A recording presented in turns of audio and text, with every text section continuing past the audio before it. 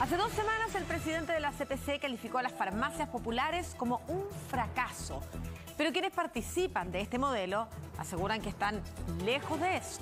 Claro, recordemos que la primera la implementó Recoleta en 2015. Hoy ya son 128 municipios los que compran medicamentos a través de Cenabas para venderlo a precios más bajos a sus vecinos.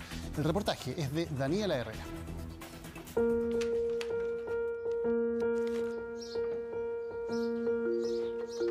Este recorrido yo lo hago casi todos los meses. Voy a adquirir mis medicamentos a la farmacia comunal, la cual yo puedo encontrar estos medicamentos que son de uso diario por mi lupus. Así que relativamente me demoro unos 15, 20 minutos caminando. Hola, buenos días. Vamos a ver que nos vaya bien y que estén todos los medicamentos. Tengo metatrexato y nada más. Nada más. ya. ¿Los otros medicamentos cuándo podrían estar? Enero ya. ¿En enero? No encontramos Uno. todos los remedios. Solo uno.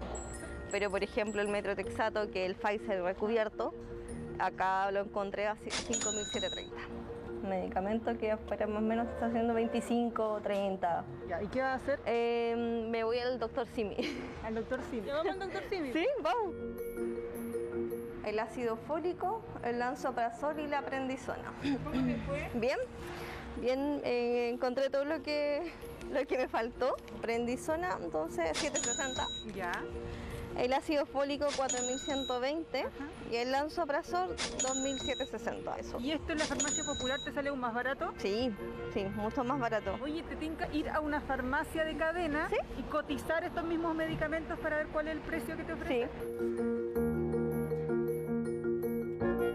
Sale 37,240 la receta completa. El total de ellos sería 37.240 Ya. con el descuento de mi RUT. Sí. Versus los 13.000 aproximadamente que te salió Sí. todo hoy día. No solamente mi caso, hay muchas personas que gastan lo que no tienen.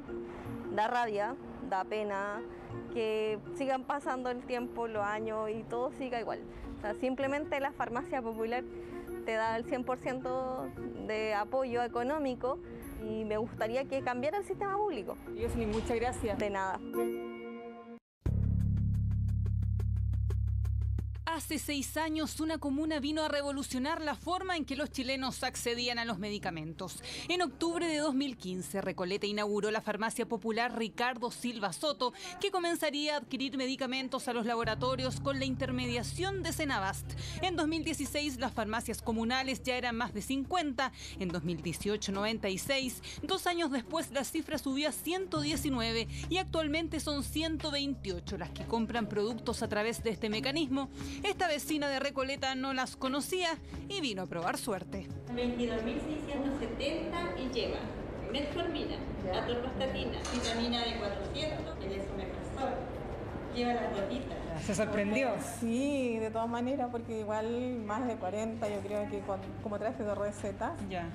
yo creo por lo mínimo en esa receta unos 70. Así Ya. que maravilloso. Maravilloso para muchas personas, pero no todos coinciden en su éxito. Hemos visto el fracaso de las farmacias populares, especialmente del ex candidato Jaude. Y es que las alarmas comenzaron a fines de agosto cuando la Superintendencia de Insolvencia publicó una petición de liquidación forzosa en contra de la Asociación Chilena de Farmacias Populares. La empresa Best Quality comenzó un litigio por el no pago de una deuda superior a los mil millones de pesos e interpuso una querella por el delito de estafa en contra de Daniel Jaude, quien preside la Chifarp.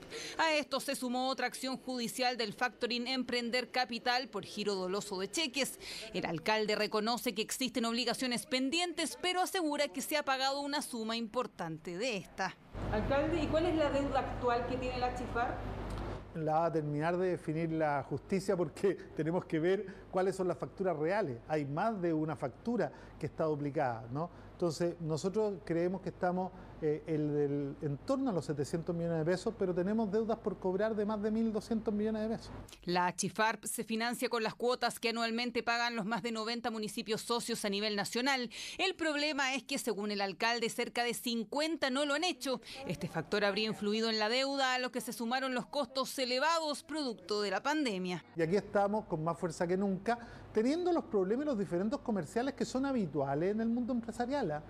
pero que parece que si los tenemos nosotros son muy graves y cuando los tienen ellos, ahí nadie tiene problema porque ese es el funcionamiento. Lo que para Juan Sutil es un fracaso, para toda esta inmensa cantidad de gente es un tremendo beneficio.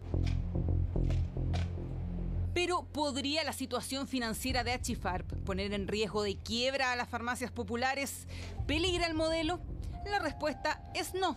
Cada municipio gestiona de forma independiente los medicamentos a través de Senabast, institución que al ser la gran compradora de fármacos para el sector público, realiza millonarias licitaciones obteniendo precios muy convenientes. Como los municipios venden al precio de costo, los remedios logran ser hasta siete veces más baratos. Ese es un caso puntual, específico, que hoy día está en la justicia. Sí veo eh, miles de casos adicionales que son casos de éxito, sin lugar a dudas. Esta y otras políticas que se han tomado durante los últimos años han sido un acierto. Si hubiera algún problema grave, nosotros nos vamos a enterar. Solo este 2021 la Senabast ha abastecido con más de 800 productos a las farmacias comunales por montos brutos superiores a los 23 mil millones de pesos. Vitacura es el municipio que más compra a través de este modelo. Que el gasto del medicamento es un gasto que toda la familia chilena tiene, independiente de tu previsión eh, tú estás obligado, sobre todo en, edad avanzada, a usar más medicamentos. Por lo tanto, es, un tema que tiene que estar incorporado en la gestión de cualquier municipio. Hay gente no de tan altos recursos, hay de todas las clases sociales. Si el ítem remedio y sobre todo las personas a medida que vamos creciendo, es mucho, mucho más lo que influye el ítem remedio en el presupuesto. Consultamos al gremio de los laboratorios cómo es el comportamiento de pago de los municipios. Desde la Cámara de Innovación Farmacéutica, donde el 10% de los socios participa en la cadena de farmacias comunales, aseguran que sí existen retrasos, pero la gran mayoría cumple.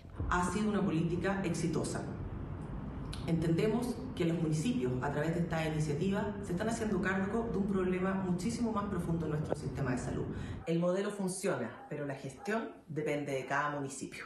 Y es que precisamente ese era uno de los temores en un comienzo, que los municipios crearan un déficit, lo que de acuerdo a una investigación realizada antes de la pandemia, no ocurrió. El modelo es un modelo que funciona, es un modelo que es sostenible, tiene matices, por supuesto, y esto para nada significa que la opción pública puede ser buena en todos los mercados. En este caso funciona porque el poder del Estado se utiliza eficientemente para atacar dos fallas de mercado que son muy bien definidas, que es el poder de mercado que tienen los laboratorios cuando venden medicamentos a las farmacias privadas y el poder de mercado que tienen las farmacias privadas cuando venden a los consumidores. Claro que aún existen obstáculos. El estudio también revela que quienes optan por la farmacia popular siguen siendo muy pocos y una persona puede encontrarse hasta con 20 farmacias de cadena antes de llegar a la comunal.